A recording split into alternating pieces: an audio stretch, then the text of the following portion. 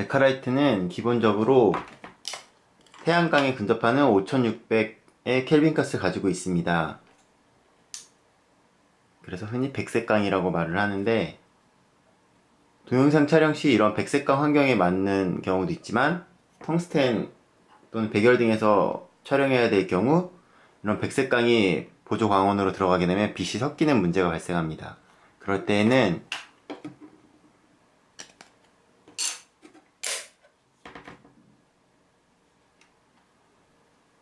이렇게 색온도로 바꿔주는 컬러 필터를 앞에 탑재하면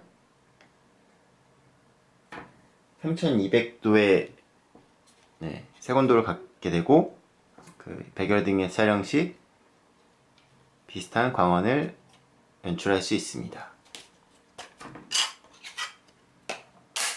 하얀색의 디퓨저와 컬러 필터를 조합하여 사용할 수도 있습니다. 사용하지 않을 때는 측면에 자석으로 부착시킬 수도 있습니다.